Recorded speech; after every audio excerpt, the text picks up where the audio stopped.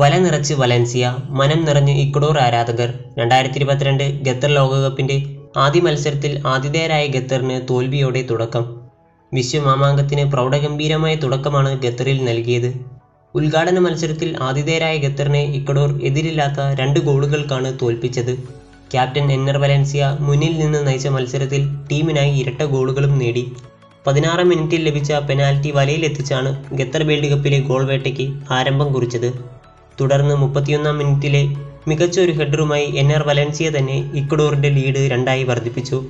World കപ്പിന്റെ തൊണ്ണൂറ്റിരണ്ട് വർഷത്തെ ചരിത്രത്തിൽ ആദ്യമായാണ് ഒരു ആതിഥേയ രാജ്യം ഉദ്ഘാടന മത്സരത്തിൽ പരാജയപ്പെടുന്നത്. ഖത്തറിനെതിരായ വിജയത്തോടെ രണ്ടായിരത്തി ഇരുപത്തിരണ്ട് ലോകകപ്പിലെ ആദ്യ ഗോൾ വേട്ടക്കാരൻ എന്ന നേട്ടവും എന്നർ വലൻസിയയ്ക്ക് സ്വന്തമായി. അവസാനമായി ഇക്വഡോർ വേൾഡ് കപ്പ് കളിച്ച രണ്ടായിരത്തി പതിനാല് ബ്രസീൽ വേൾഡ് കപ്പിൽ വലൻസിയ ഇക്വഡോറിനായി മൂന്ന് ഗോളുകൾ നേടിയിരുന്നു. ഖത്തറിനായ വിജയത്തോടെ സുപ്രധാനമായ മൂന്ന് പോയിന്റുകൾ നേടാൻ ലാറ്റിൻ അമേരിക്കൻ പുലിക്കുട്ടികൾക്ക് കഴിഞ്ഞു.